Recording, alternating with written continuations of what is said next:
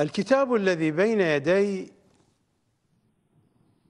رجال النجاشي. هذا هو أهم كتاب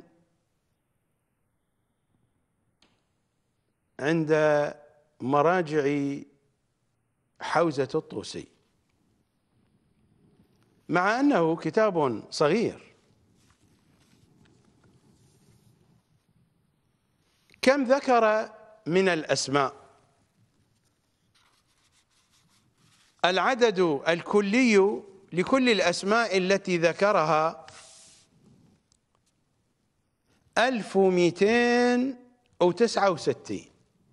هذا أهم كتاب رجالي عند مراجع حوزة الطوسي.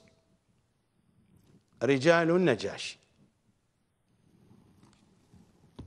ومحمد رضا السيستاني وأبوه والخوئي ومحمد باقر الصدر والذين سبقوه والمعاصرون والذين يأتون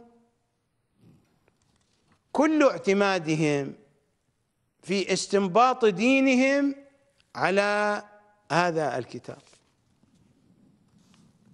إن كان المقام مقاما للتفسير مقاما لاستنباط العقائد والمعارف مقاما لاستنباط الفتاوى والأحكام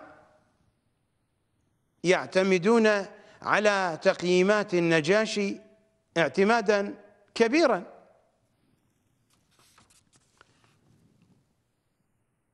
رجال النجاشي ما هو بكتاب كبير؟ العدد الكلي لكل الأسماء التي ذكرت 1269 اسم. نحن كم عندنا من الرواة؟ عدد الرواة عندنا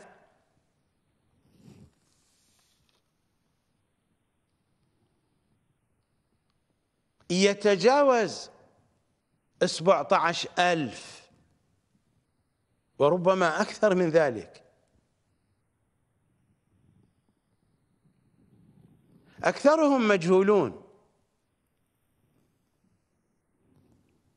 أكثر من 17 ألف اسم عندنا.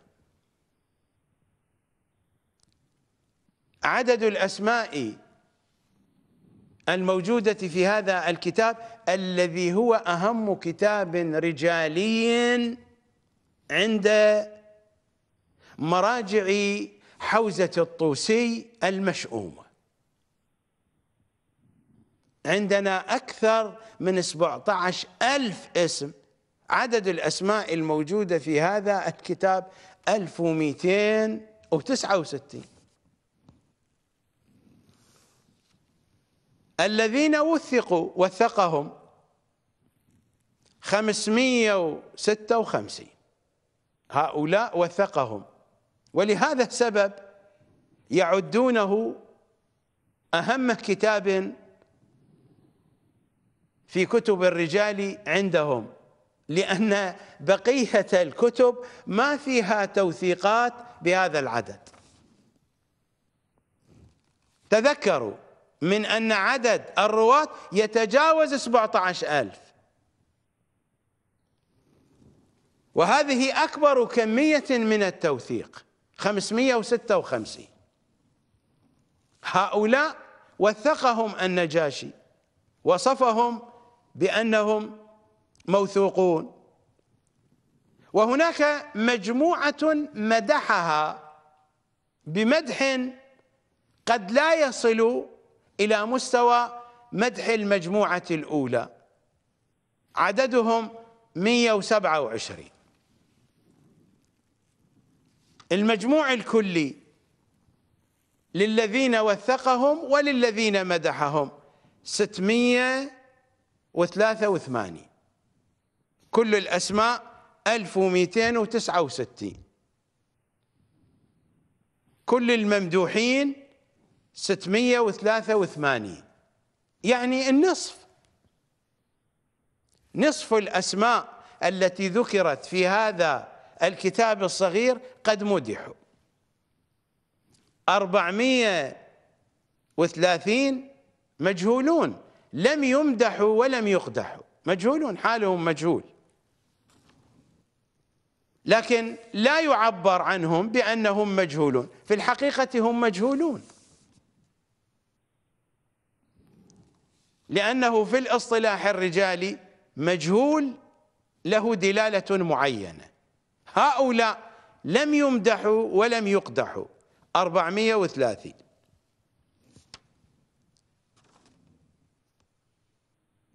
الذين قال عنهم من أنهم ضعفاء 131 والذين قال عنهم من أنهم مخالفون. مخالفون لمنهج أهل البيت 16 واحد. والذين وصفهم بأنهم مجهولون. فلان مجهول عددهم تسعة. لكن في الحقيقة فإن أربعمية وثلاثين الذين لم يمدحوا ولم يقدحوا هم مجهولون أيضا. لم يمدحوا ولم يقدحوا. فهؤلاء يكونون عمليا في خانة المجهولين.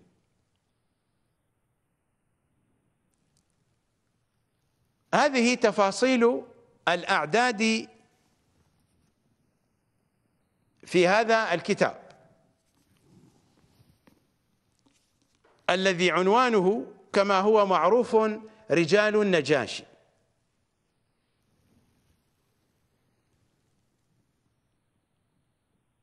هذا الكتاب له الأهمية الكبرى عند مراجع حوزة الطوسي. قطعا له أهمية كبرى أيضا عند محمد رضا السيستاني باعتبار أن الحديث عن منهجيته في التحقيق والبحث في دروسه وأبحاثه وتأليفاته فهو على المنهج الموجود على منهج أبيه وعلى منهج المراجع الذين سبقوا أباه وعلى منهج المراجع المعاصرين وعلى منهج المراجع الذين سيأتون. كلهم في الهوى سوى مثلما يقولون في التعابير الشعبية العراقية. واحد تافل بحلق الثاني ومثلما أقول أنا واحد متغوط بحلق الثاني.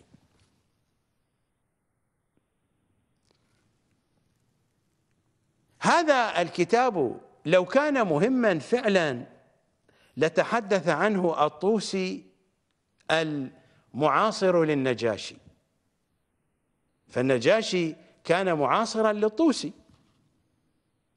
والطوسي عنده كتابان معروفان. الفهرست هذا كتابه الفهرست ذكر فيه المؤلفين والمصنفين من الشيعة الذين كانوا في زمان الأئمة أو بعد زمان الأئمة.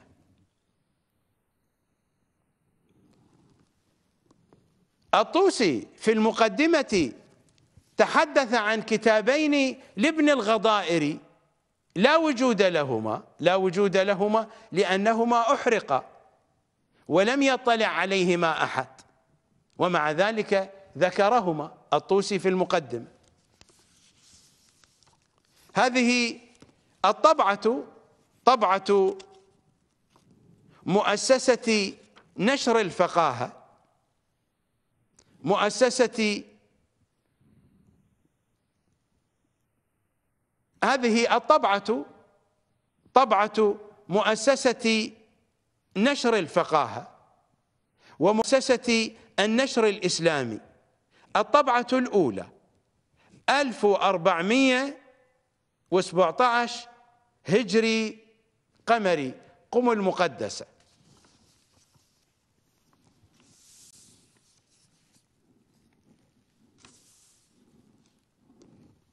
يقول الطوسي في المقدمة أما بعد فإني لما رأيت جماعة من شيوخ طائفتنا من أصحاب الحديث.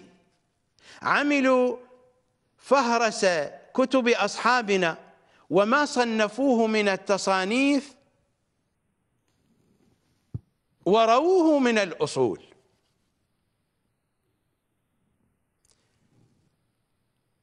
وما صنفوه من التصانيف ورووه من الأصول.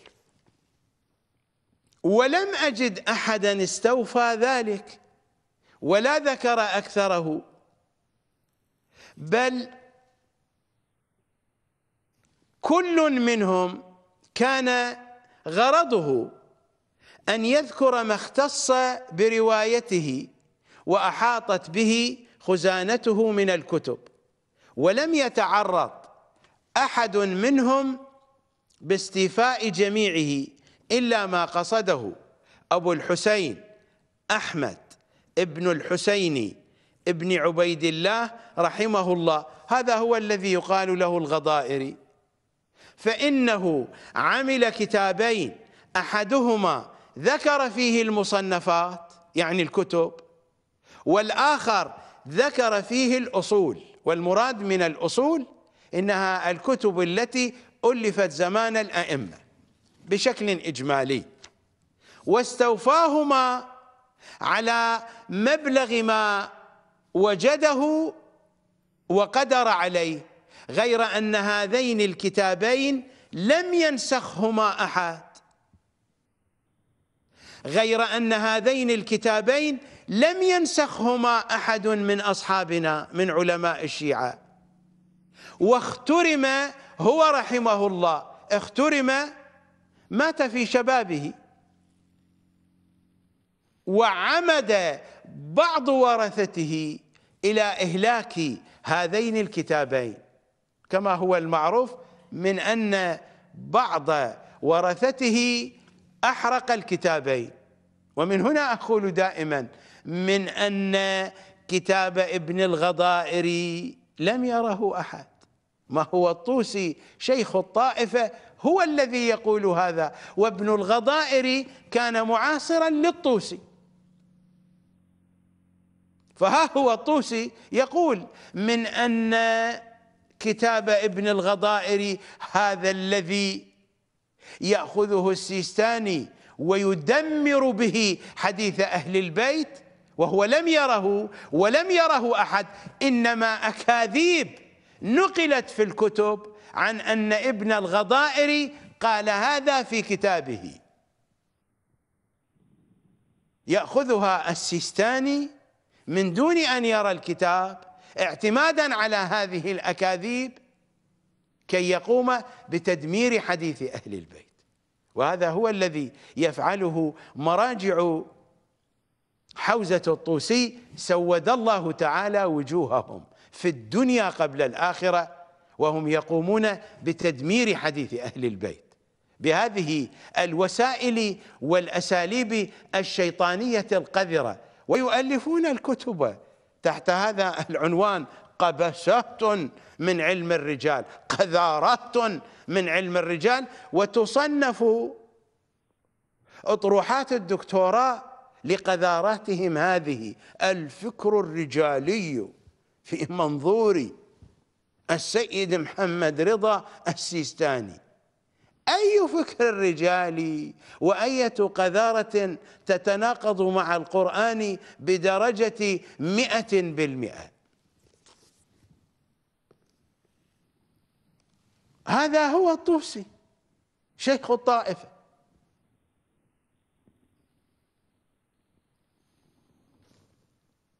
وبعد ذلك هو يقول لأن كثيرا من مصنفي أصحابنا وأصحاب الأصول ينتحلون المذاهب الفاسدة مؤلفو الشيعة وإن كانت كتبهم معتمدة. ومع ذلك فإن الطوسي لم يشر إلى كتاب النجاشي هذا. لم يشر إلى كتابه. وكان معاصرا له. الطوسي الطوسي ولادته 385 للهجرة ووفاته 460 للهجرة. النجاشي ولادته 372 للهجرة ووفاته 450 للهجرة. يعني توفي في بغداد 450 للهجرة. لا ندري هل انتقل مع الطوسي الذي انتقل إلى النجف سنة 448 النجاشي توفي في بغداد. 450 للهجرة. هل انتقل خلال السنتين إلى النجف أو لا؟ لا علم لنا. لا دليل على ذلك.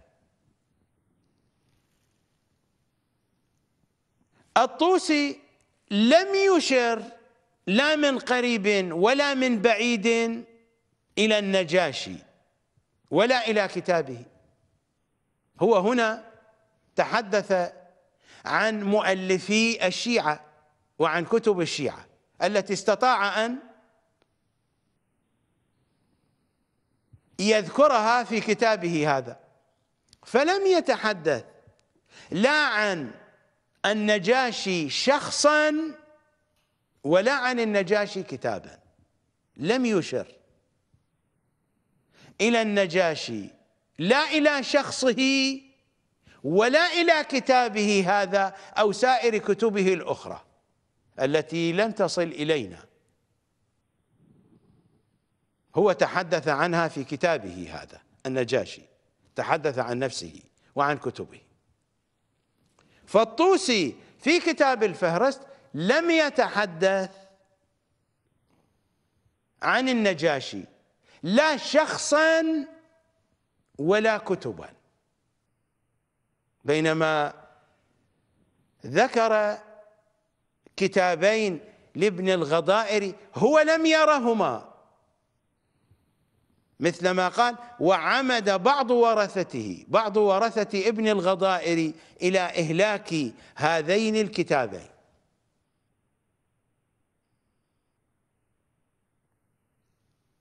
كتابان لم يرهما الطوسي ولم يرهما غير الطوسي ومع ذلك فإن الطوسي أشار إليهما في المقدمة. لماذا لم يشر الطوسي إلى النجاشي؟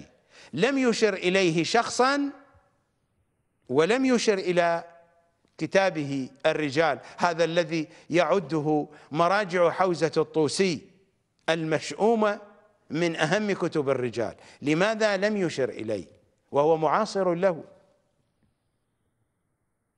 بينما النجاشي ذكر الطوسي في كتابه.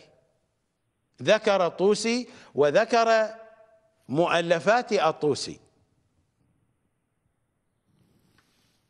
وإن كان ذكر الطوسي في رجال النجاشي من وجهة نظري ذكرا مضطربا. بحسب الطبعة هذه.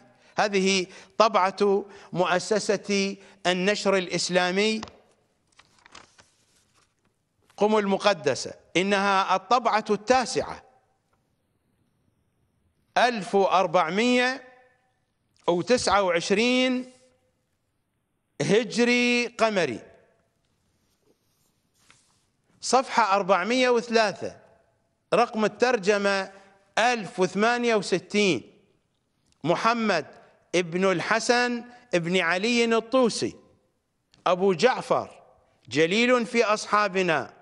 ثقة عين من تلامذة شيخنا أبي عبد الله أبي عبد الله يعني المفيد.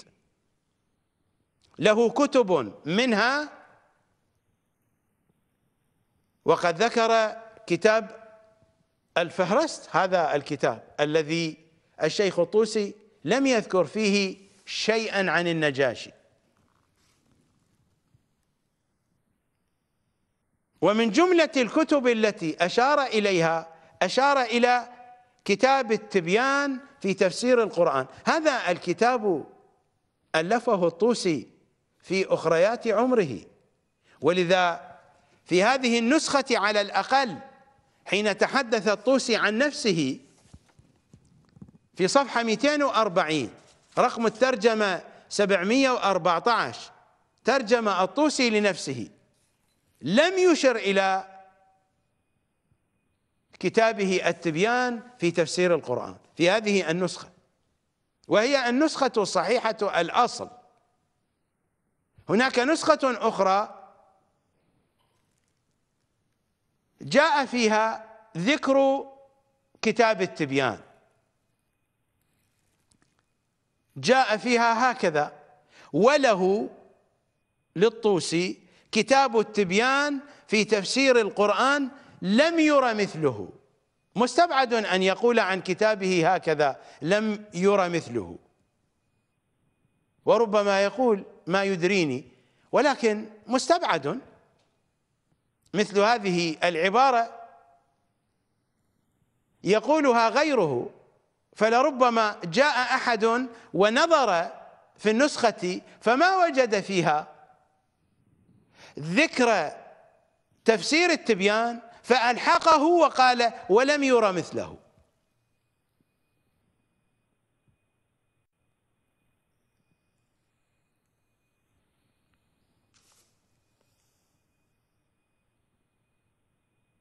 وقال ولم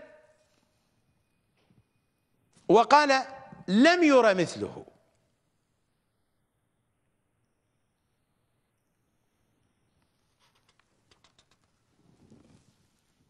في نسخة أخرى في الحاشية أشير إليها.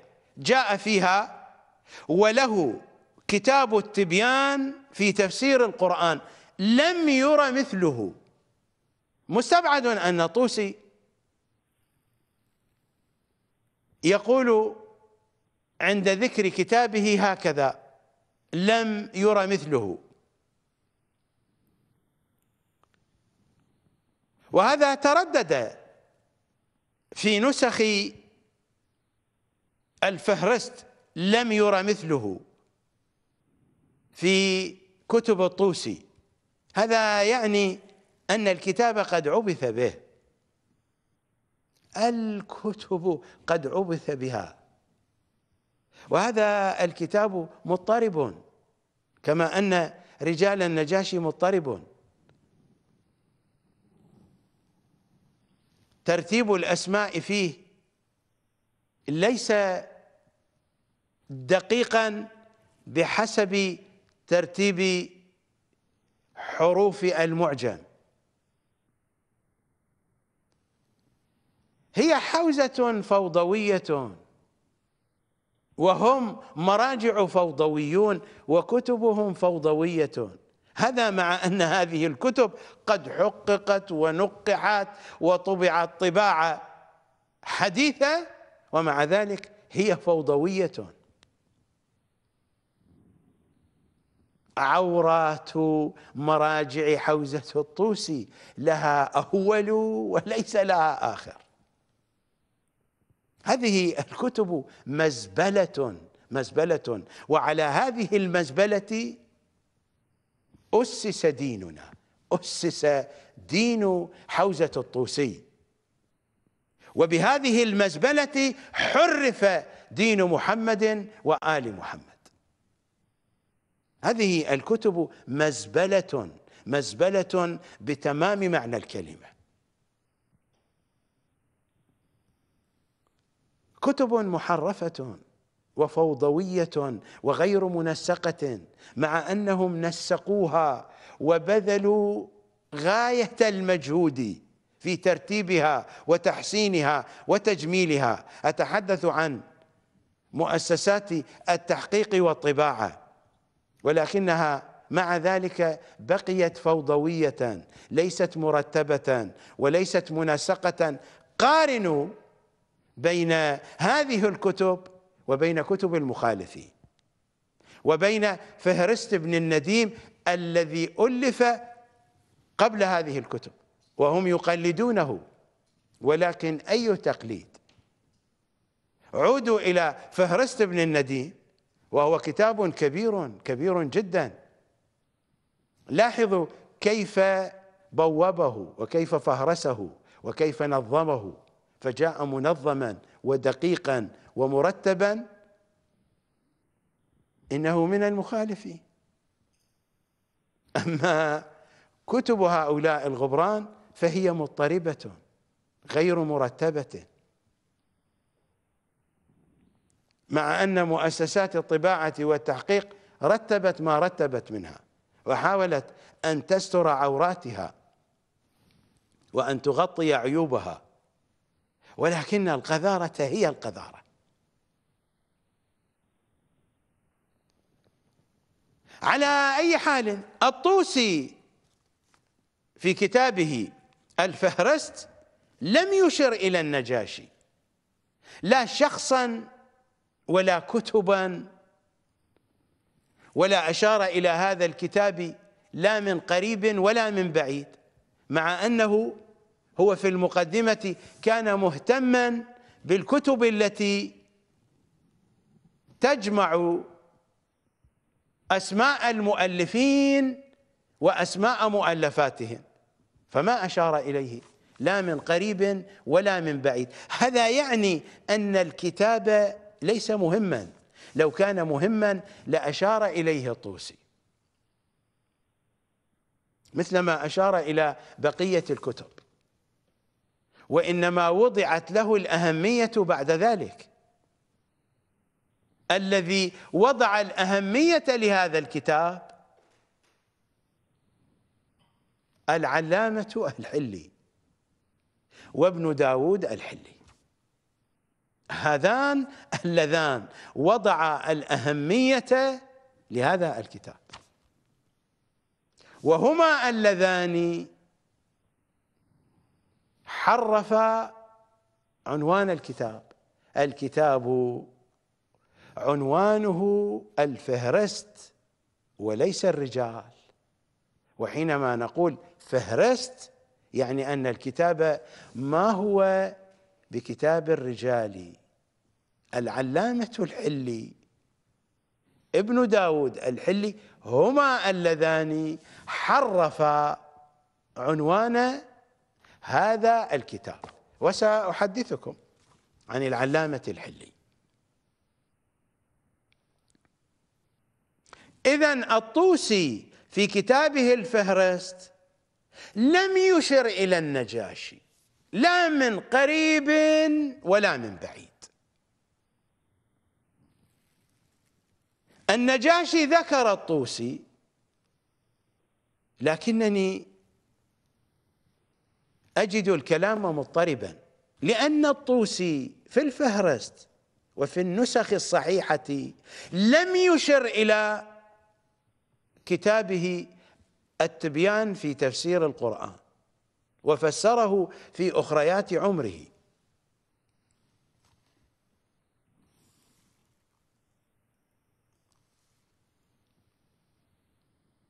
بينما النجاشي الذي توفي سنة 450 وقد ألف هذا الكتاب قبل وفاته. هو توفي سنة 450 بينما الطوسي توفي سنة 460 وانتقل من بغداد إلى النجف سنة 448 من القرائن تفسير التبيان ربما بدأ به حينما كان في بغداد. من القرائن أتمه في النجف. ولذا لم يذكر تفسيره التبيان في قائمة مؤلفاته. قد ذكر كل مؤلفاته. فلم يذكر تفسيره التبيان في الفهرست. في نسخة ومن خلال الكلام والتعبير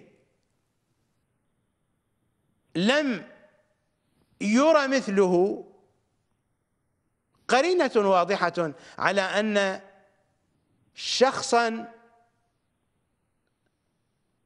هو غير الطوسي ألحق هذه الجملة بكتاب الفهرست وألحقت جمل أخرى. هذه الكتب محرفة محرفة بتمام معنى التحريف. كتب الطوسي كلها مضطربة كلها مضطربة.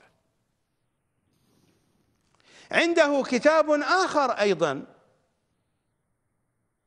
الطوسي رجال الطوسي. هو عبارة عن قائمة لذكر الأسماء.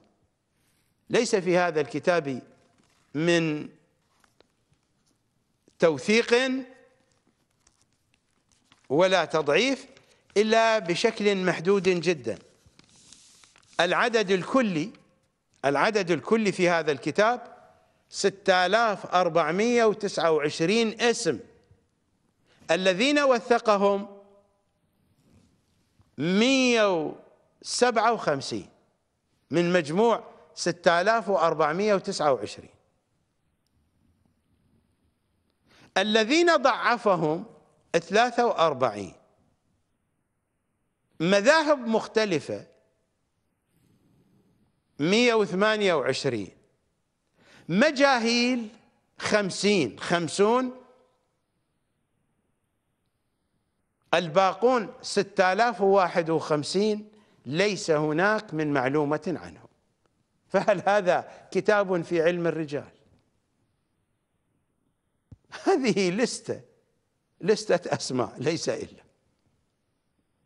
وحينما يأتي الخوئي أو غير الخوئي يؤلفون في علم الرجال وذكره الطوسي في أصحاب الباقي ذكره جعله اسما في اللستة في القائمة. وماذا قال عنه؟ لم يقل عنه شيئا. فهل الطوسي من علماء الرجال؟ إذا أنا من علماء الرجال لماذا من مجموع 6429 6051 لا يعرف عنهم شيئا؟ أي علم هذا؟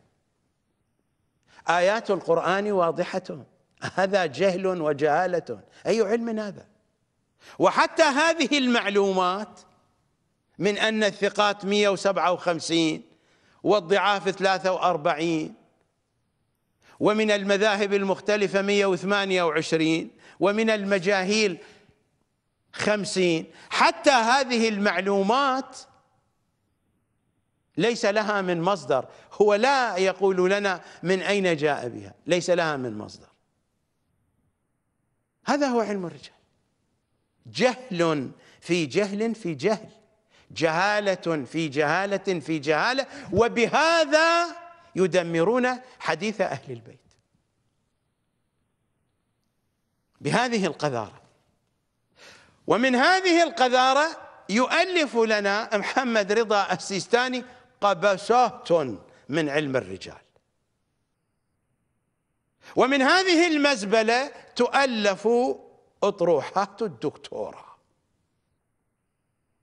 هذا هو واقع النجف وهذا هو واقع حوزة الطوسي. إنها مزبلة في مزبلة في مزبلة وقذارة في قذارة في قذارة. جهل وجهالة منطق القرآن. الآيات قرأتها عليكم تدبروا فيها. لا يجوز استعمال علم الرجال بأي وجه من الوجوه لتقييم حديث أهل البيت. القرآن يقول فتبينوا فتبينوا. كيف نتبين يا آل رسول الله؟ التبين بالعرض على القرآن. وكيف نفقه القرآن؟ وفقا لمواثيق بيعة الغدير أن نأخذ بتفسيرهم. أن نمتلك مفاتيح القرآن. منهم كلامكم نور. من هذا الكلام النوري كي نفتح الخزائن خزائن القرآن كي نصل إلى الحقائق. هذا هو منهج العترة الطاهرة. أما هذا منهج إبليس هذه الكتب كتب النجاشي وكتب الطوسي هذه كتب إبليس. هذه كتب شيطانية صرفة قذارة في قذارة في قذارة. أي رجال هذا؟ رجال الطوسي. 6429 عنوان. 6051 هو لا يعرف عنهم شيئا. وحتى هذه الأعداد القليلة. ثقات 157 ضعاف 43 مذاهب مختلفة 128 مجاهيل يعني قال عنهم مجهول. خمسون حتى هذه الأرقام. المعلومات التي ذكرها ليس لها من مصدر. لا ندري من أين جاء بها. قسم هذا الكتاب إلى أبواب. أصحاب النبي أصحاب الأمير ولم يشر إلى أصحاب الزهراء الذين رووا عن الزهراء. وعندنا روايات ليست قليلة رويت عن الزهراء. لم يذكر لم يذكر الرواة الذين نقلوا لنا أحاديث الزهراء. فقفز من رواة حديث أمير المؤمنين إلى رواة حديث إمامنا الحسن. وهكذا إلى إمامنا الحسن العسكري. ثم فتح بابا باب ذكر أسماء من لم يروي عن واحد من الأئمة. إنهم محدثو الشيعة بعد عصر الأئمة. في هذا الكتاب أيضا لم يشر الطوسي إلى النجاشي لم يشر إلى شخصه ولم يشر إلى كتابه. ماذا نفهم من ذلك؟ وقد أشار إلى الكثير من الأسماء. ممن هم؟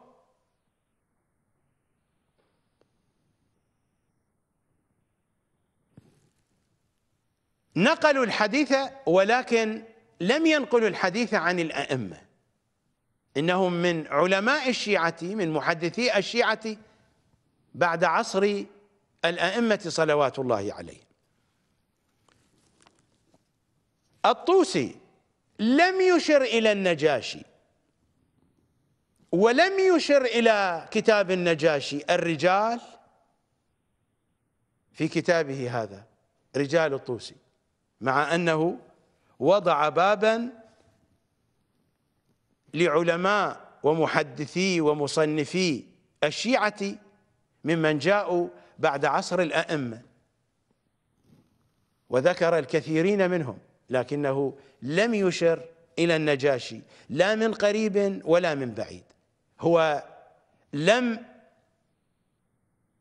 يعتبره من رواة الحديث ما بعد عصر الأئمة ولم يعتبره من مؤلفي الشيعة ومن مصنفي الشيعة. لذا لم يشر إليه في كتابه هذا ولم يشر إليه في كتابه هذا الفهرست مع ملاحظة أن الكتابين في حالة اضطراب. حتى في ترتيب الأسماء بحسب حروف المعجم. وهذا يكشف عن فوضوية الطوسي. وعن فوضوية ولده من بعده. لو لم يكن ولده من بعده فوضويا لرتب كتب أبيه. لكنه كان جاهلا جاهلا بالمطلق لا يفقه شيئا وصار مرجعا. صار مرجعا للشيعة إلى ما يقرب من ستين سنة. وهو جاهل لا يفقه شيئا. ما هم الشيعة حمير حمير يركب عليهم هؤلاء المراجع. أتحفون أتحفون أتحفون بالوثيقة الديخية. ما أريد أجيب الأسماء. واحد قال لي أنا شنو مستعجل؟ أنا شنو مستعجل؟ قلت له أخر بابا ما توصل النوبيلية قال توصل. اطمئنا تركبهم يعني مش الشيعة تركبهم وتقول لهم ديخ والله نفس عبارته واحد من الأعلام قبل خمس سنوات قال لي استعجل مش أقول لك تركب يعني خلاقة أغميشيني مردم خلاقة أغميشيني چی لك بكي حركة فقش ديخ العربية فقش ونفس عبارته كنا على تفوق كلكم تعرفونه لأنه ما أريد أجيب الأسماء. عرفنا؟ قال تركب مثل ما ركب فلان وقال ديخ لا مو علم إجمالي. هذا واقع واقع الشيعة. لا أقول واقع الشيعة هذا والله هذا واقع الشيعة.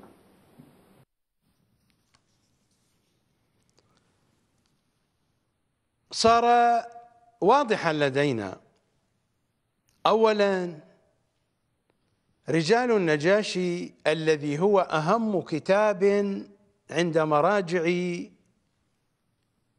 حوزة الطوسي عند مراجع حوزة النجف وكربلاء. هو كتاب صغير. ذكرت لكم أعداد الرواة الذين جاءوا في هذا الكتاب. وفي الحقيقة هو لم يتحدث عن رواة هو تحدث عن مؤلفين. فعدد الأسماء التي وردت في هذا الكتاب عدد قليل. مثلما قلت لكم المجموع الكلي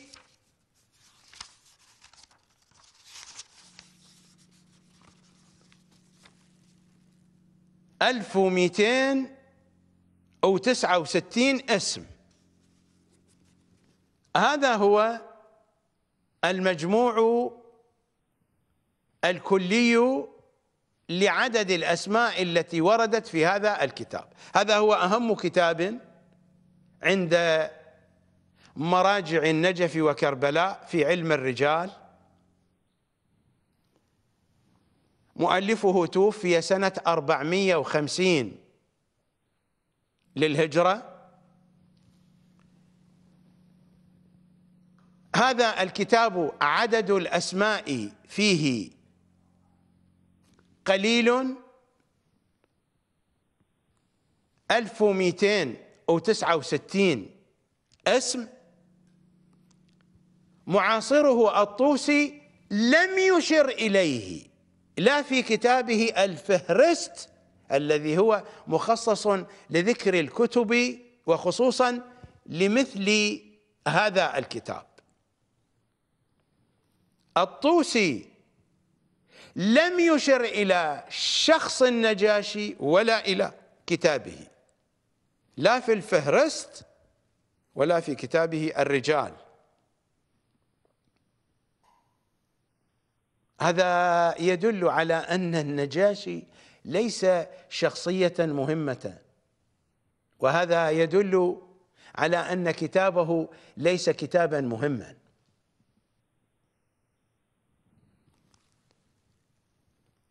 بينما هو النجاشي ذكر الطوسي وامتدحه وذكر كتبه وإن كنت أشكل على الكتب التي ذكرت فإنني أقطع من أن أحدا حرف في المعلومات التي ذكرت بخصوص الطوسي في هذا الكتاب. أقطع من خلال القرائن. هناك العديد من القرائن ولو كان المقام للحديث عن هذا الموضوع فإنني أستطيع أن أفصل القول في ذلك وآتيكم بالكتب وآتيكم بالشواهد وبتلك القرائن. هذا الكتاب مطبوع على غلافه الخارجي رجال النجاشي. إذا فتحنا الصفحة الأولى أيضا بخط كبير رجال النجاشي ولكن بطباعة صغيرة. فهرست أسماء مصنفي الشيعة المشتهر برجال النجاشي. تدليس حوزوي. خبيث. على الغلاف الخارجي رجال النجاشي. في داخل الكتاب على الصفحة الأولى وبكتابة صغيرة فهرست هذا هو الاسم الحقيقي للكتاب الفهرست. لكنهم زوروه فقالوا رجال النجاشي. حتى يكون كتابا رجاليا لأن الفهرست ما هو بكتاب رجالي. يعني أن المؤلف ليس مهتما بالمعلومة الرجالية وإنما هو مهتم بذكر أسماء الكتب والمؤلفين. هذا هو المراد من الفهرست. فهم زوروا الكتاب حرفوه حولوه من فهرست إلى كتاب رجال. فعلى الغلاف الخارجي رجال النجاشي في الداخل وبطباعة صغيرة فهرست أسماء مصنفي الشيعة المشتهر برجال النجاشي كيف اشتهر بهذا الاسم؟ وهو كتاب فهرسة ما هو بكتاب رجال؟ زوره مراجع الشيعة الأجلاء. زوروه. لاحظوا المقدمة. هذه مقدمة النجاشي نفسه. الرجل لم يقل إن كتابه كتاب الرجال. هكذا جاء في المقدمة. أما بعد فإني وقفت على ما ذكره السيد الشريف. البعض يقول من أنه المرتضى وربما هو كذلك لأنه وصفه بالشريف. في الثقافة الشيعية الهاشميون لا يوصفون بهذا الوصف. هذا الوصف وصف عباسي مثل ما يقال أيام البعثيين الرفيق.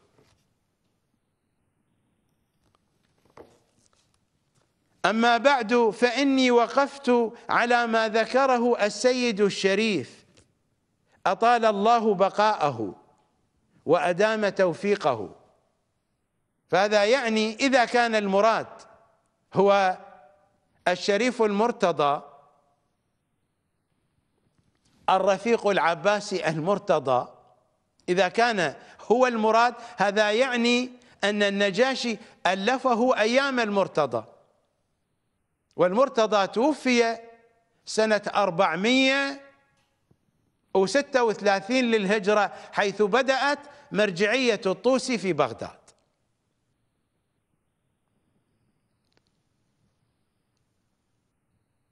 فالكتاب إذا يعرفه الطوسي. إذا كان المراد من السيد الشريف هنا المرتضى. فالكتاب إذن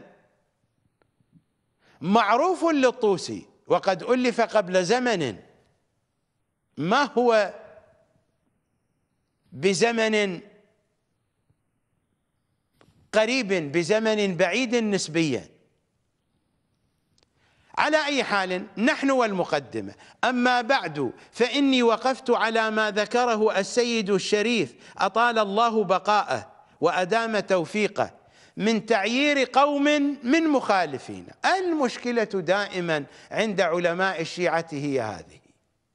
هم حائرون في قضية ماذا يقول المخالفون عنا فيؤلفون وفقا لهذه الغاية فتأتي مؤلفاتهم سخيفة قذرة وسخة.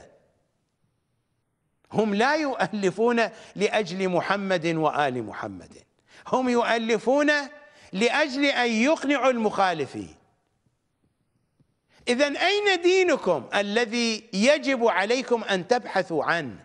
أين عقائدكم؟ هل أمركم الأئمة أن تفعلوا ذلك؟ أم أنهم أمروكم أن تتدبروا قرآنهم وفقا لموازينهم وأن تفهموا حديثهم وفقا لقواعدهم؟ القرآن يقول لكم لا تعبأوا برواة الحديث. إن جاءكم فاسق بنبأ فتبينوا لا تعبأوا بسند الحديث. عودوا إلى المتن وتبينوه من خلال القرآن. وفقه القرآن من خلال مواثيق بيعة الغدير. هذا هو دين العترة وليس هذا الهراء. من تعيير قوم من مخالفين أنه لا سلف لكم ولا مصنف. ليس لكم من مؤلفين.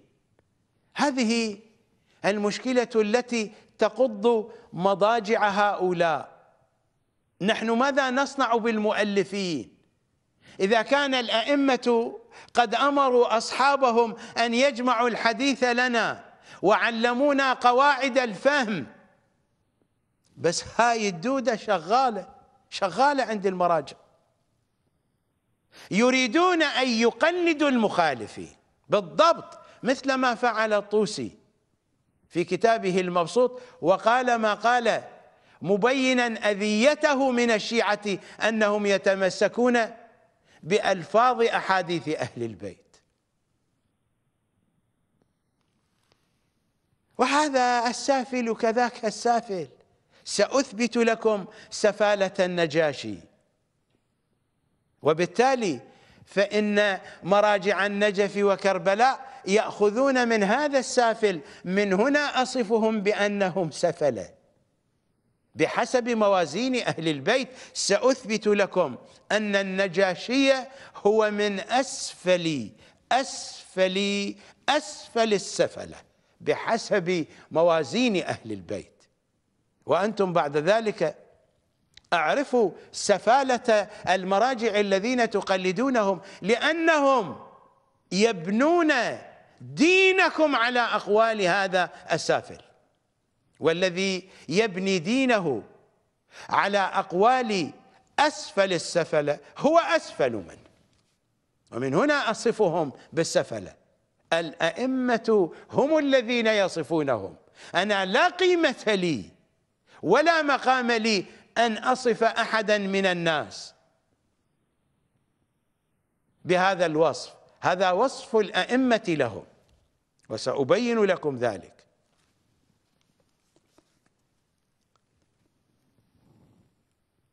من تعيير قوم من مخالفين أنه لا سلف لكم ولا مصنف أو ولا مصنف. مصنف يعني تأليف.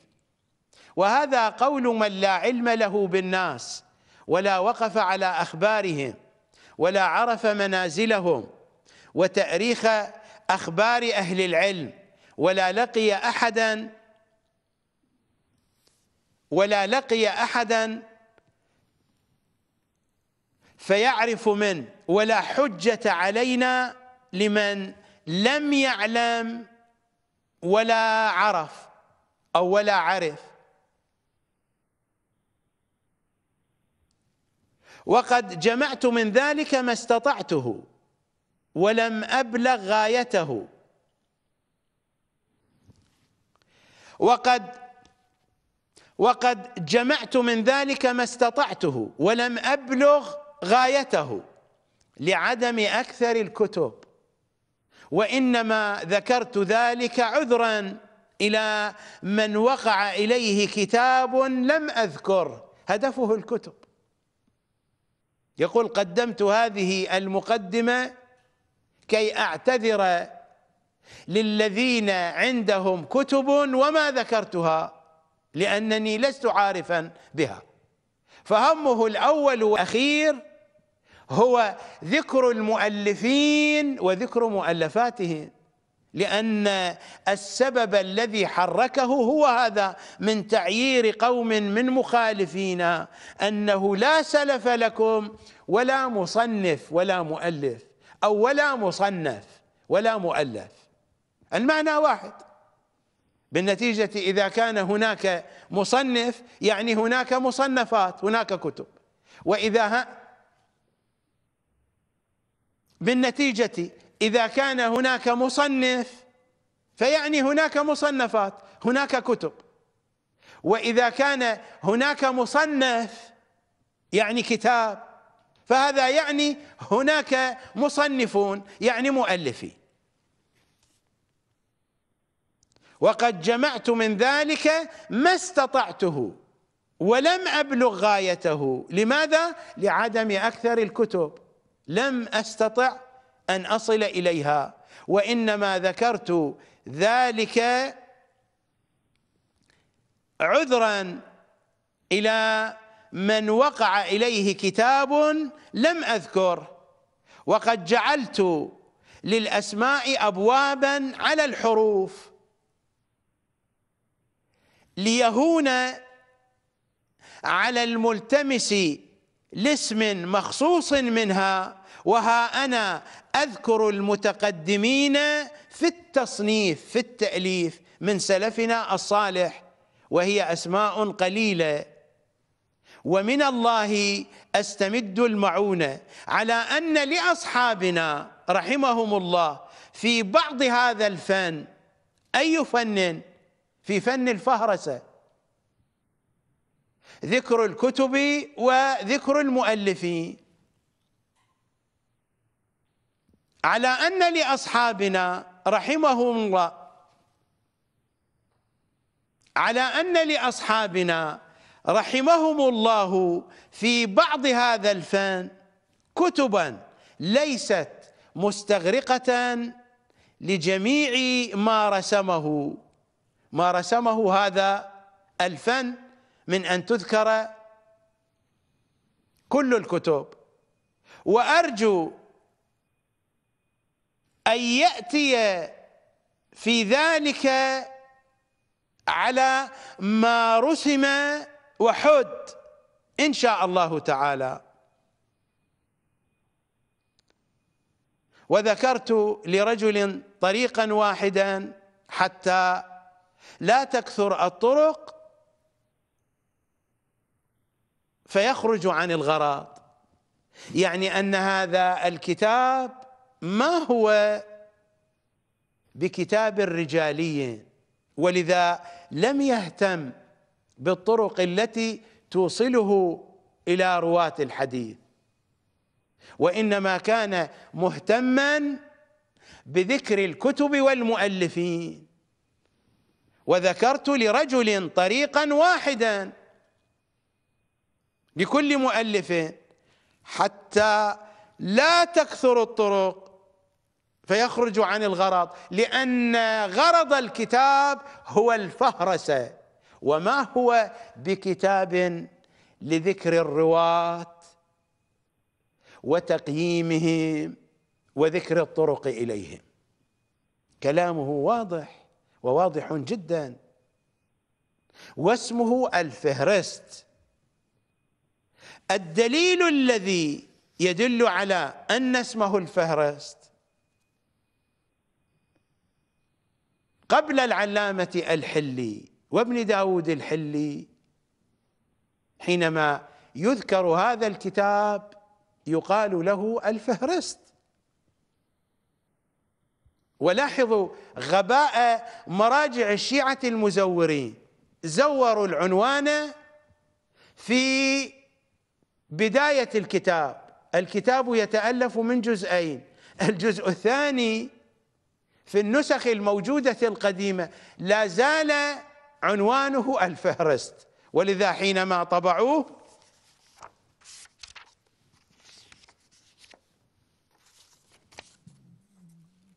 كتبوا هكذا الجزء الثاني من كتاب فهرست أسماء مصنفي الشيعة. هل رأيتم كتابا واحدا في موضوع واحد يكون الجزء الأول له عنوان والجزء الثاني له عنوان آخر في موضوع واحد. وهو مستمر في نفس الترتيب. هذا هو الدليل الباقي. هذا بالضبط كيافطة يا زهراء في مؤسسة الكوثر التي عرضتها عليكم في هذا البرنامج مؤسسة الكوثر السيستانية. التي تقام فيها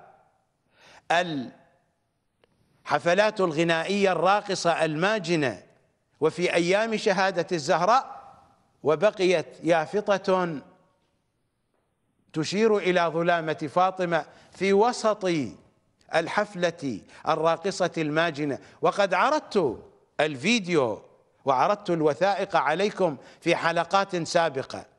فبقيت يا زهراء بقيت دليلا صارخا. هذا العنوان أيضا. هو دليل على تزوير مراجع حوزة الطوسي. ولذا تجدون على الغلاف رجال النجاشي. كذابون كذابون. العنوان الحقيقي لا زال موجودا في الجزء الثاني. الجزء الثاني من كتاب فهرست أسماء مصنفي الشيعة. وما أدركنا من مصنفاتهم. وذكر طرف من كناهم وألقابهم ومنازلهم وأنسابهم وما قيل في كل رجل. وما قيل في كل رجل منهم من مدح أو ذم هذه العبارة كاذبة. هذه أضيفت.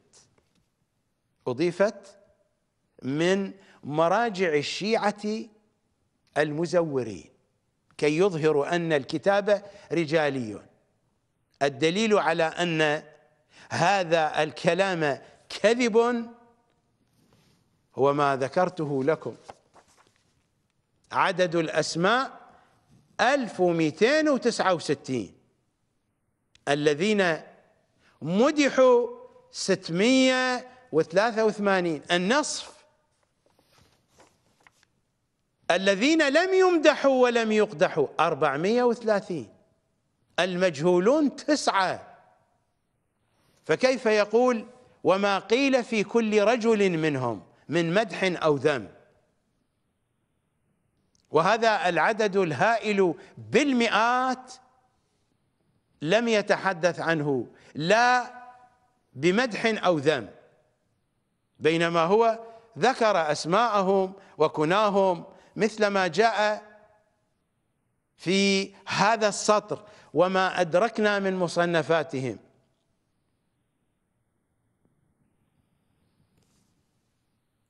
وذكر طرف من كناهم وألقابهم ومنازلهم وأنسابهم.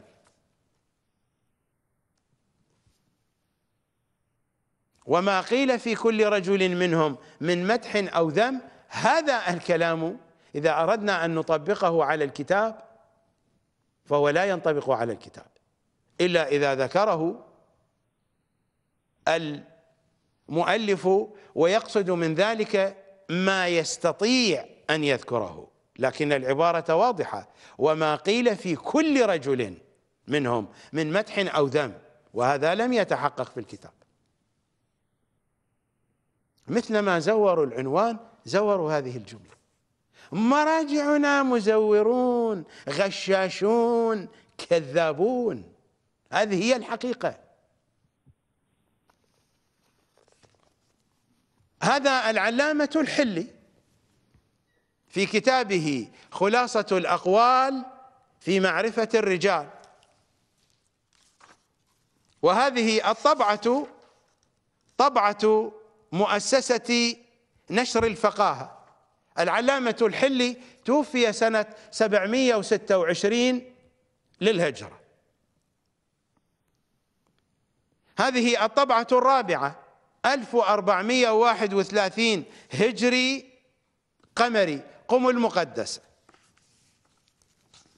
إذا ذهبنا إلى صفحة 72 وإلى رقم الترجمة 118 إنه يترجم للنجاشي أحمد ابن علي إلى آخره النجاشي.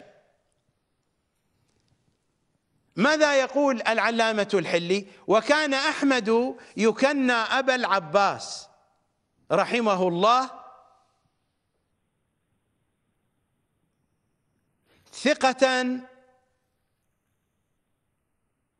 معتمدا عليه عندي وربما تقرأ ثقة معتمد عليه عندي. له كتاب الرجال. نقلنا منه في كتابنا هذا وغيره أشياء كثيرة. له كتاب الرجال.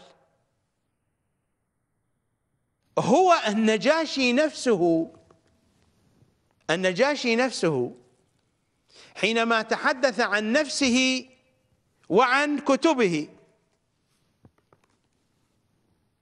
لم يقل من أن له كتابا اسمه كتاب الرجال.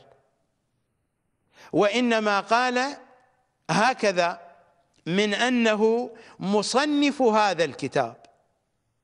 ولم يقل بأن الكتاب هذا عنوانه الرجال. وإنما مثل ما جاء في المقدمة وما جاء في عنوان الجزء الثاني من أنه الفهرست وهذا هو المعروف فهرست النجاشي.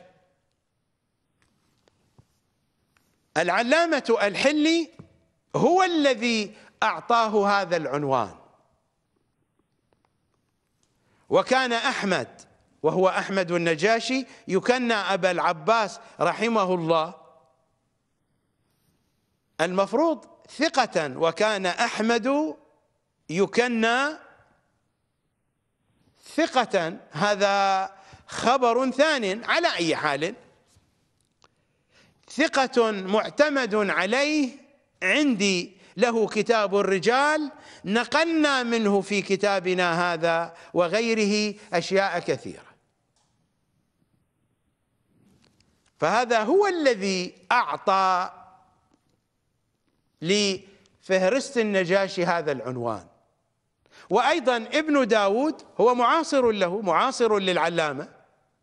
ابن داود الحلي أيضا سمى كتاب النجاشي الفهرست بالرجال.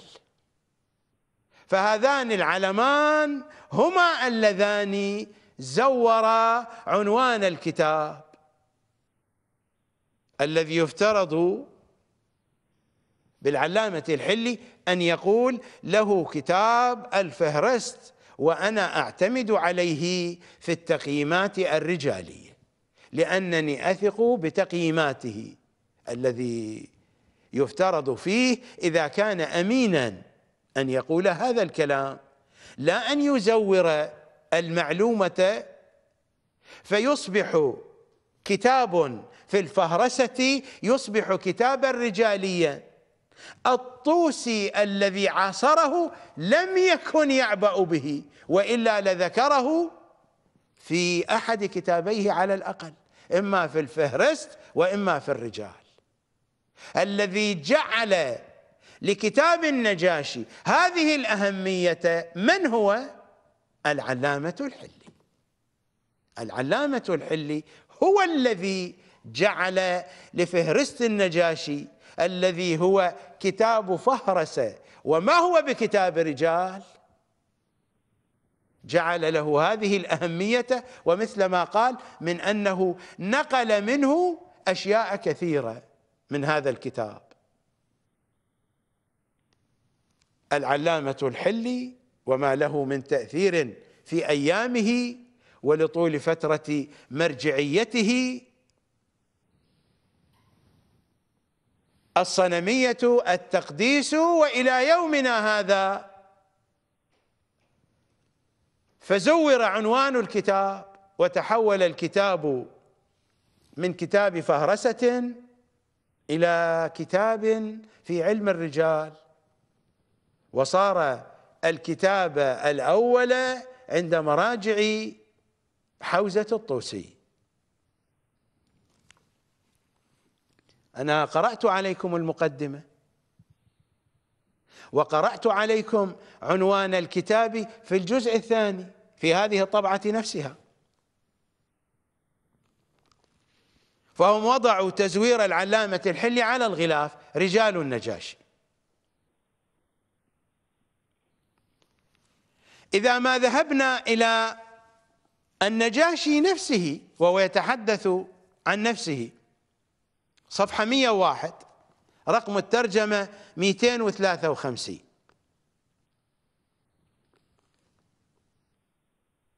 فأرجع نسبه إلى إلياس ابن مضر ابن نزار إلى عدنان. وقال عن نفسه مصنف هذا الكتاب الفهرست. ثم ذكر مؤلفاته. لا يوجد في مؤلفاته ما يشير إلى أنه من علماء الرجال.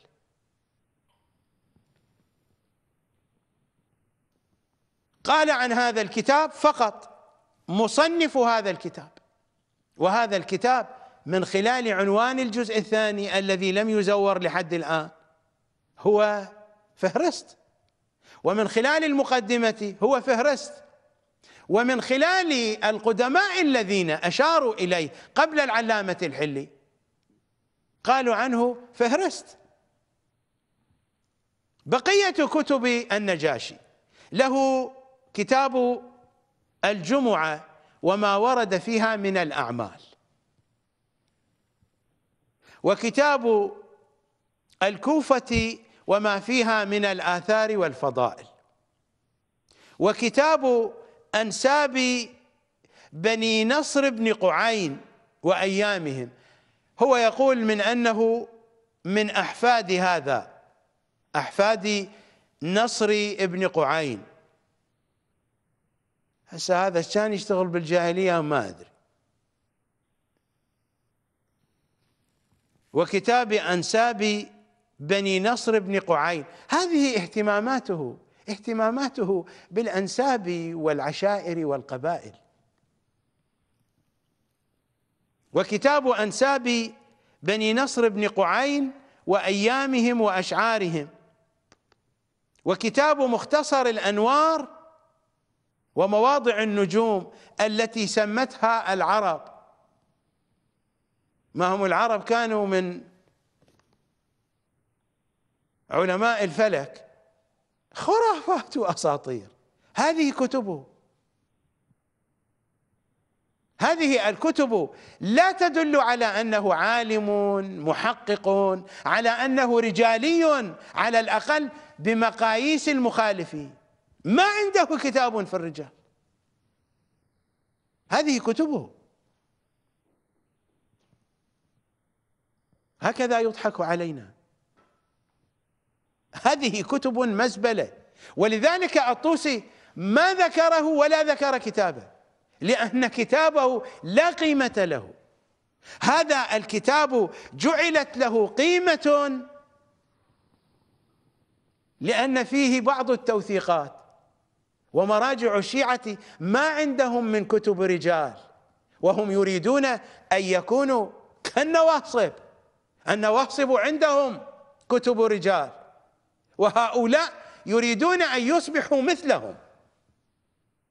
هو حتى النجاشي نفسه لقد ألف هذا الكتاب انطلاقا من تعيير المخالفين لهذا السيد الشريف الرفيق. هل هو المرتضى أم غير المرتضى؟ بالنتيجة هو سيد شريف من عملاء العباسيين. ولذا يلقب بهذا اللقب. فهذه مؤلفات النجاشي. له كتاب الجمعة وما ورد فيه من الأعمال وكتاب الكوفة وما فيها من الآثار والفضائل وكتاب أنساب بني نصر بن قعين وأيامهم وأشعارهم. وكتاب مختصر الأنوار ومواضع النجوم التي سمتها العرب وانتهينا. هذه كتب النجاشي بحسبه هو.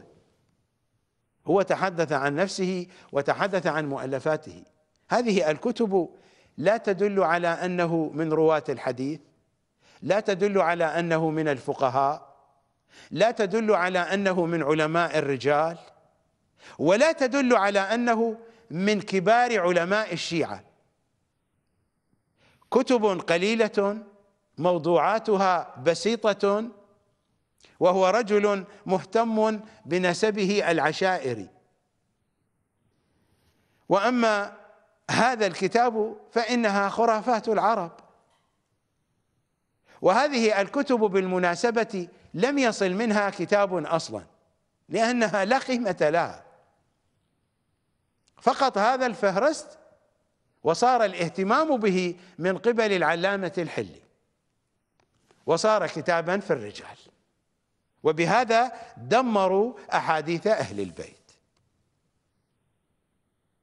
هذه هي حقيقة حوزة النجف. هذا الكتاب هذا الكتاب. نسخه مختلفة. هناك نسخ مختلفة لهذا الكتاب.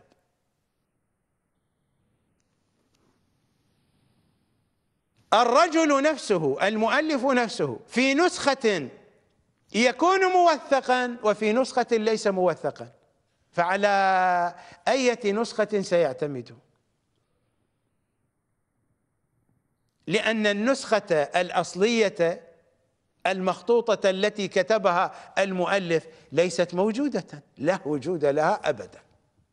ولا توجد أيضا نسخة نقلت عن تلك النسخة أيضا لا وجود لها.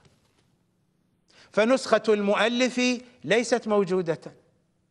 ولا توجد عندنا نسخة نقلت بشكل مباشر عن نسخة المؤلف. أكانت قراءة يعني أن المؤلف قرأها على أحد وذلك الذي قرأت عليه كتبها وبعد ذلك أيدها المؤلف. ما هم هكذا يفعلون عند النواصب وهؤلاء يقلدون النواصب. ولا توجد نسخة لشخص استنسخها بقلمه ويده.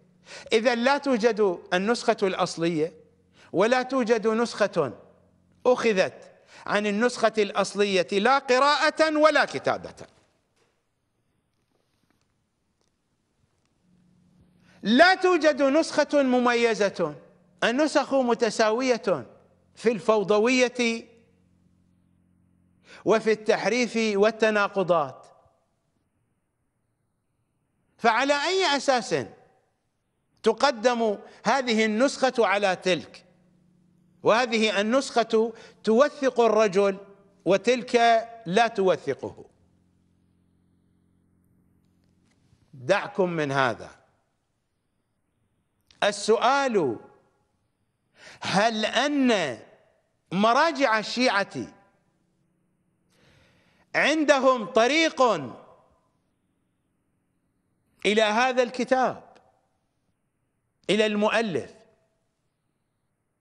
ليس هناك من طريق يؤدي إلى المؤلف أو من طريق يؤدي إلى هذا الكتاب. إنني أتحدث عن طريق صحيح بحسب موازين الرجاليين. أنا لا أؤمن بهذا الهراء ولكنني أناقشهم بهرائهم. ما هم هكذا يدمرون حديث أهل البيت؟ تلاحظون أن الكتاب مزور في عنوانه.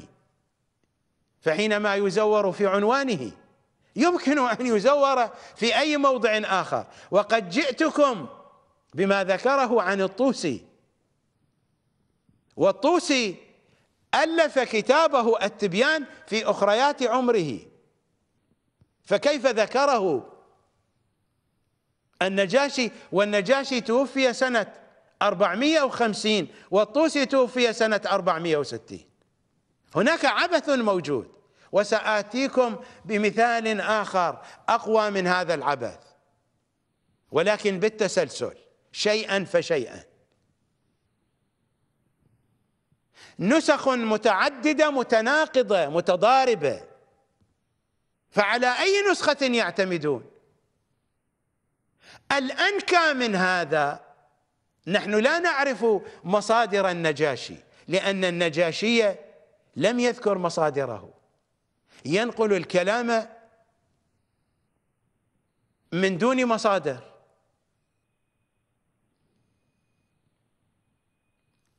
تلاحظون بأية وسيلة دمروا حديث أهل البيت؟ الكلام المذكور في هذا الكتاب لا نعرف مصادره. النجاشي يمدح ويقدح من دون مصادر. لا يذكر لنا من أين جاء بهذه المعلومات. فكيف يعتمد على كلامه؟ سيصبح راوية. فلماذا نأخذ كلام راوية لما يقال عن الرجال كي نحكم به على راوية يروي الحديث. ما هذا راوية يروي الحديث؟ مع أن الحديث بالإمكان أن نتأكد من متنه فتبينوا. لكن كلام النجاشي كيف نتأكد من صحته أو عدم صحته؟ لا توجد قاعدة معلومات. فإن النجاشي ينقل الكلام من دون ذكر المصادر لا نعرف مصادره. مصادر هذا الكتاب ليست معروفة لا نعرفها. وحتى ما أشار إليه من بعض المصادر هذه المصادر ليست موجودة الآن. ربما أشار في حالات إلى بعض المصادر فهذه المصادر ليست موجودة الآن ليست بين أيدينا. إذا كيف نعتمد على كلامه؟ هذا إذا سلمنا أن الكتاب رجالي الكتاب ما هو بكتاب رجالي هو فهرست لست قائمة يعدد أسماء المؤلفين وأسماء الكتب. أما ما ذكر من مدح أو قدح فهو من خلال ما يسمع من خلال ما يقرأ لا من خلال خبرته الرجالية. فما هو برجالية؟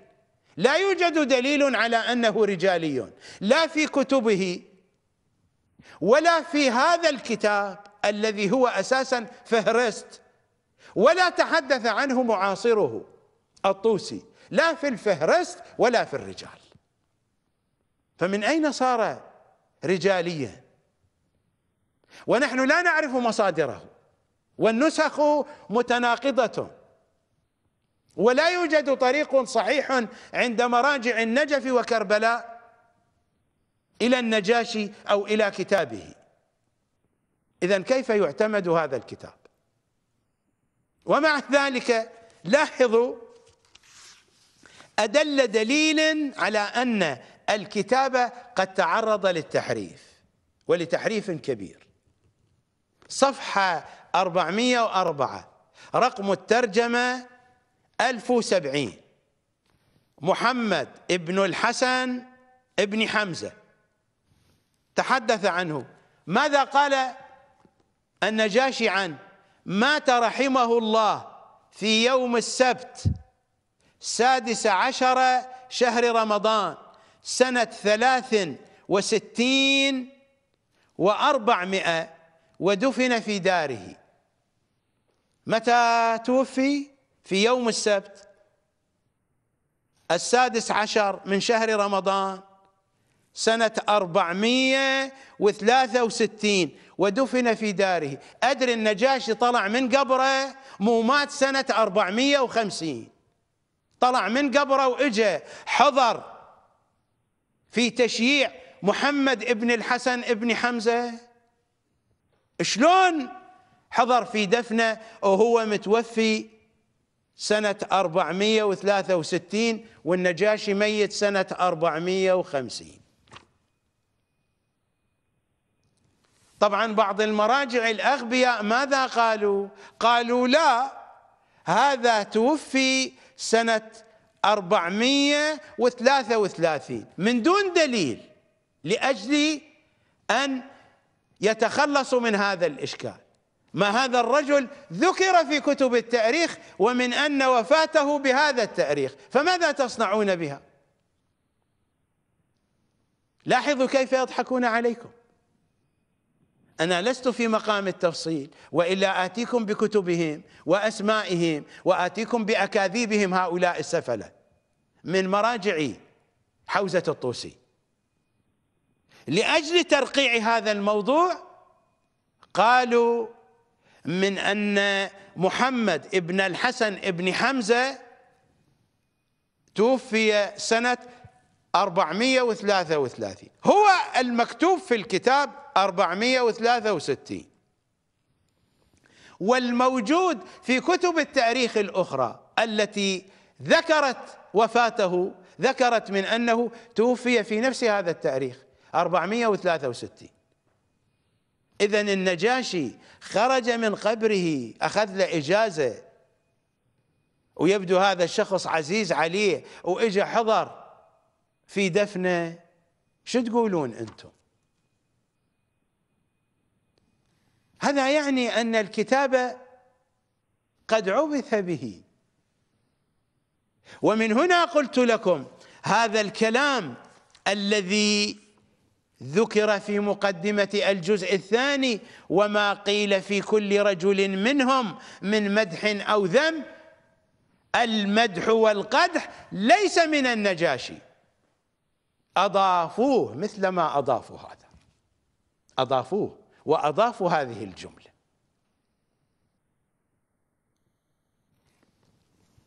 لأننا إذا قرأنا في المقدمة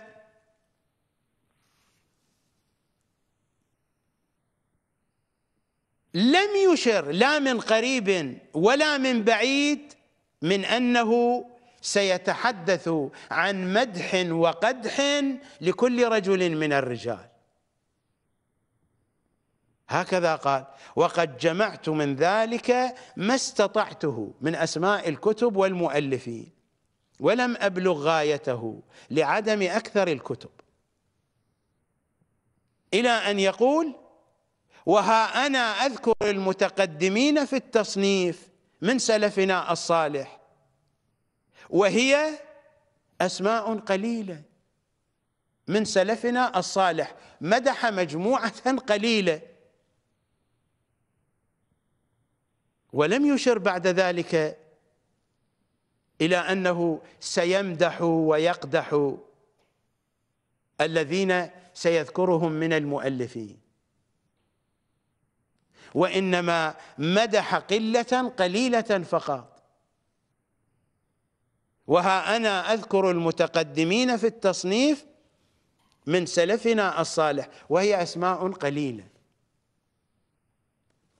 أما هذه الجملة وما قيل في كل رجل منهم من مدح أو ذم هذا من تحريف مراجع حوزة الطوسي وهم أضافوا المدح والقدح. قطعا يكون هذا عبر العصور. وهذا التحريف بدأ بعد حرق المكتبات الشيعية في بغداد ويبدو أن هذا بتخطيط كان. ومباشرة انتقل الطوسي إلى النجف كي يعيد كتابة الكتب التي أحرقت. وحرفوا ما حرفوا فيها. التحريف بدأ منذ ذلك الوقت. أنا لا أتحدث عن تحريف في زماننا. أنا أتحدث عن تحريف بدأ منذ أن أسست حوزة التحريف وحوزة الدجل. وحوزة الضلال التي لا زالت على دجلها وضلالها. هذه الكتب وأطروحات الدكتوراه وأمثال ذلك.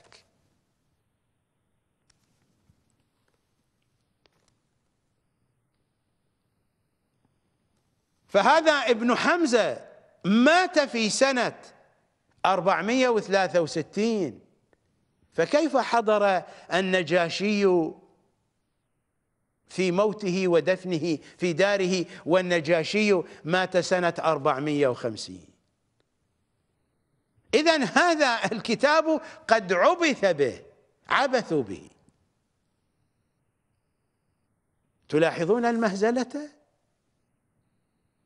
إنها مهزلة في جميع الاتجاهات.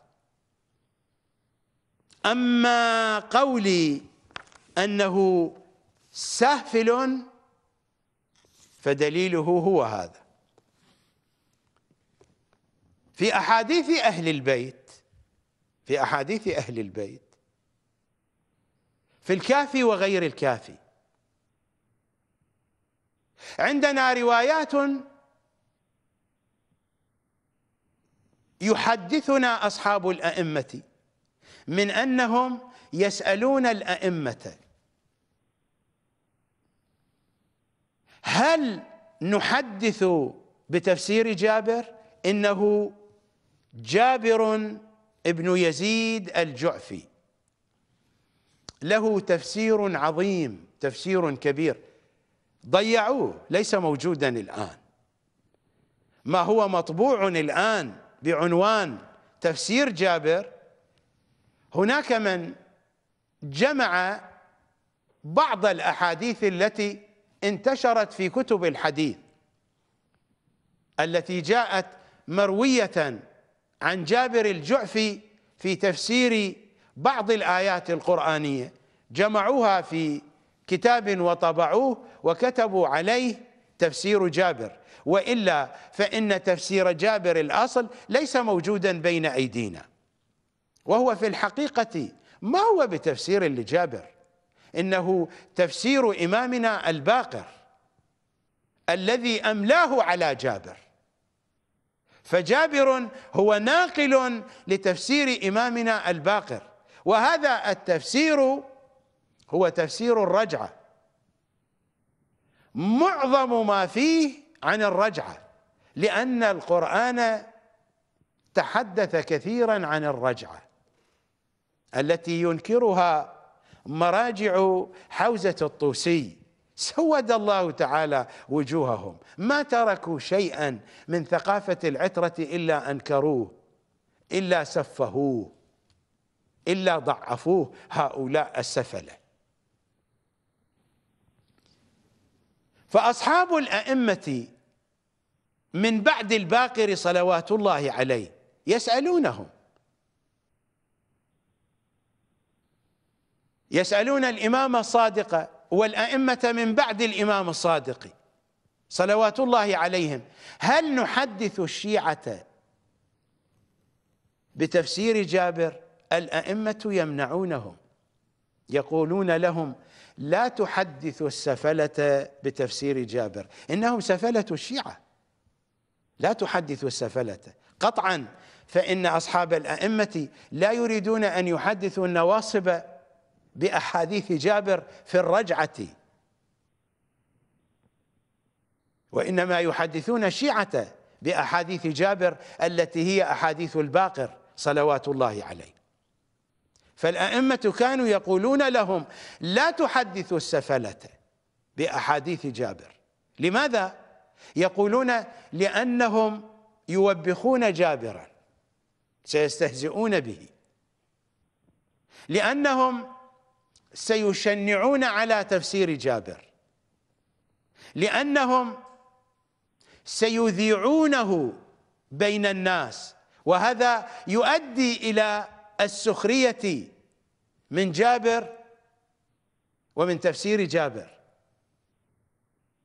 الأئمة يصفون الأئمة يصفون الذي يستهزئ بحديث واحد من أحاديث جابر بأنه من سفلة الشيعة.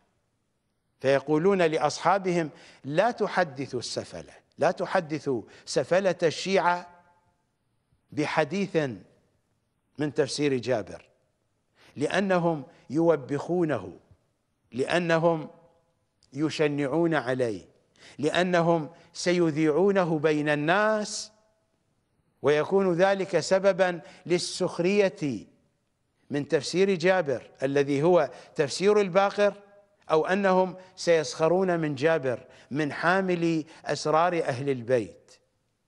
صلوات الله عليهم.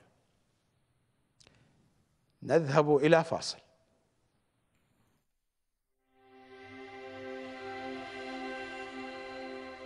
عن زائدة بن قدامة. عن عبد الكريم. قال ذكر عند إمامنا الصادق صلوات الله وسلامه عليه القائم. فقال أن يكون ذلك ولم يستدر الفلك. حتى يقال مات أو هلك. في أي واد سلك فقلت وما استدارة الفلك؟ فقال اختلاف الشيعة بينهم. وعن جابر الجعفي عن إمامنا الباقر صلوات الله وسلامه عليه. يخاطب جابرا. يا جابر لا يظهر القائم حتى يشمل الناس بالشام فتنة. يطلبون المخرج منها فلا يجدونه. ويكون قتل بين الكوفة والحيرة. قتلاهم على سواء المراد ليس هناك من طرف على الحق. ويكون قتل بين الكوفة والحيرة. قتلاهم على سواء. وينادي مناد من السماء. وعن إمامنا الباقر أيضا صلوات الله وسلامه عليه يجيب على سؤال لجابر الجعفي. متى يكون هذا الأمر؟ فقال أن يكون ذلك يا جابر ولما تكثر القتلى بين الحيرة والكوفة.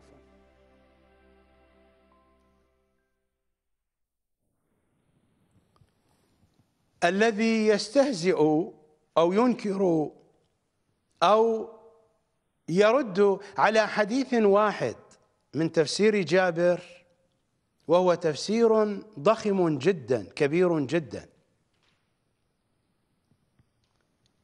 كان موجودا زمان الأئمة. الذي يرد على حديث واحد من تفسير جابر مستهزئا منكرا له أو أنه يستهزئ بجابر بسبب حديث واحد فإن الأئمة يصفونه بالسافل ويصفون الشيعة الذين حالهم هذا بالسفلة. تعالوا معي إلى النجاشي. النجاشي صفحة 128 رقم الترجمة 332 جابر بن يزيد الجعفي. اولا ماذا قال عن جابر؟ وكان في نفسه مختلطا. جابر وكان في نفسه مختلطا أي أن عقيدته ليست صافية أي أن عقيدته ليست نقية. عقيدته جماع ما بين الحق والباطل قد اختلط عليه الأمر. وكان في نفسه مختلطا بعبارة أخرى عقيدته فاسدة. هذا شخص جابر. أما تفسيره له كتب منها التفسير وعدد كتبا أخرى. في آخر الكلام صفحة 129 وغيرها وغير هذه الكتب وغيرها من الأحاديث والكتب وذلك موضوع موضوع يعني أنه مكذوب على الأئمة. بالضبط.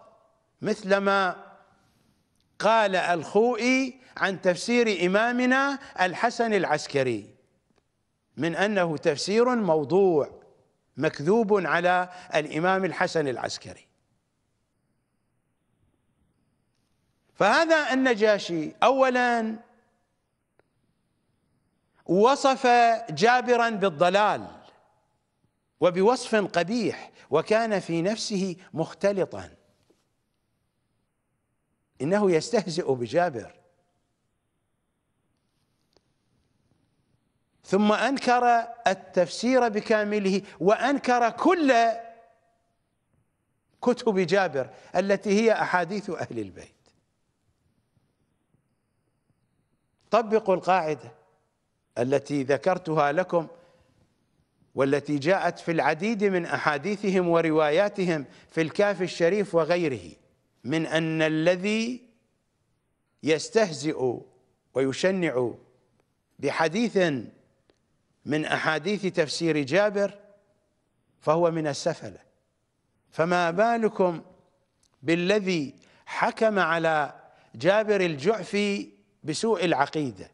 وفساد العقيدة وحكم على تفسيره كله وعلى كل كتبه من أنها موضوعة يعني ما فيها ولا حديث عن الأئمة. هذا هو كلامه. وذلك كل هذه الكتب. وذلك موضوع والله أعلم.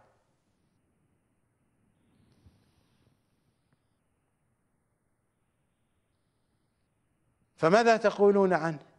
هل هو سافل فقط؟ هذا سافل وسافل وسافل وسافل وأسفل السفلة. هذا منحط في أقصى درجات الانحطاط.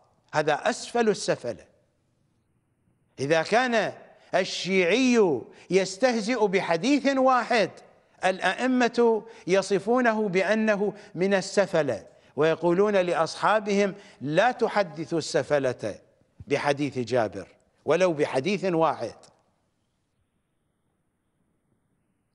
فما بالكم بهذا الذي يذم جابرا ويصفه بفساد العقيدة وينكر تفسيره وينكر الأحاديث التي رواها.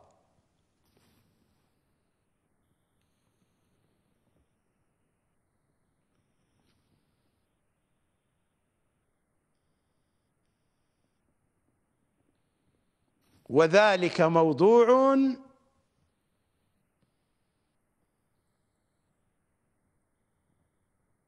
والله أعلم.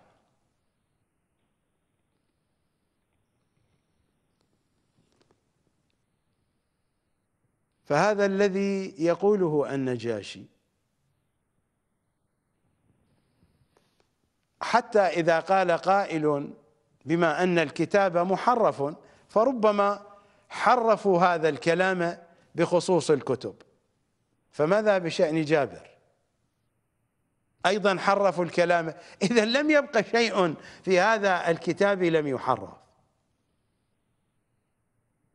فالنجاشي سافل بحسب قواعد التقييم عند العترة الطاهرة لا عند الرجاليين السفلة أتحدث عن مراجع حوزة الطوسي السفلة من زمان الطوسي وإلى يومنا هذا من الطوسي إلى المرجع الأعلى.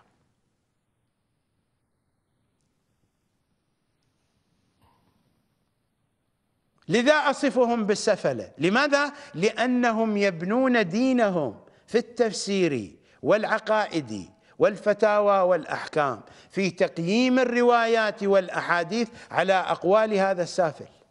والذي يبني دينه على أقوال والذي يبني دينه على أقوال أسفل السفل النجاشي. سيكونون أكثر سفالة منه هذا تقييم الأئمة لهم. فهذه أطروحة الدكتوراه وقبسات من علم الرجال هي جزء من هذه المزبله فرجال النجاشي الذي هو الفهرست فهرست النجاشي هذا أهم كتاب عند مراجع حوزة الطوسي. هذا الكتاب الأول. سيد الكتب الرجالية عند مراجع حوزة الطوسي. وأنتم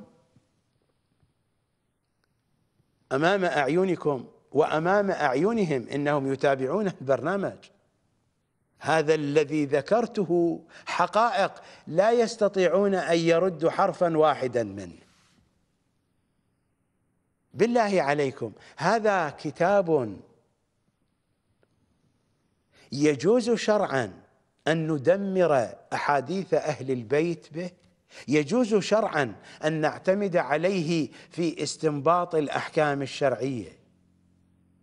الأحكام الشرعية التي في الرسائل العملية مستنبطة وفقا للمعلومات الموجودة في هذا الكتاب. فهذه عملية إفتاء من غير علم. من أفتى بغير علم ما هو بعلم؟ علم الرجال بحسب آيات القرآن. إنه جهل وجهالة وقد بينت ذلك لكم. وحتى إذا أردت أن أغض الطرف عن هذه الحقائق ما ذكرته عن رجال النجاشي هو عبارة عن مزبلة. فكيف يكون أساسا للإفتاء؟ الرسائل العملية التي تعملون بها يا أيها الشيعة وحق الزهراء البتول مستنبطة على أساس معلومات هذا الكتاب. فهذا إفتاء من غير علم. من أفتى بغير علم أكبه الله على منخريه في نار جهنم. هذا إفتاء من غير علم. هذه الرسائل العملية هي الرسائل الجهنمية القذرة لأنها إفتاء من غير علم. والأنكى والأنكى أن السيستاني يقدم رجال ابن الغضائر الذي لا وجود له على هذه المزبلة. فيأتينا بمزبلة أقذر من هذه المزبلة. وقد قرأت الكلام عليكم قرأت رأيه رأي السيستاني من كتبهم في الحلقات المتقدمة. هذا هو دينكم. وهؤلاء هم المراجع الذين تقلدونهم الآن والذين ستقلدونهم في الأيام القادمة. لم ينتهي الكلام. وقت الحلقة صار طويلا. الحديث المهم لم نصل إليه لحد الآن. نلتقي غدا إن شاء الله تعالى. أسألكم الدعاء جميعا. في أمان الله.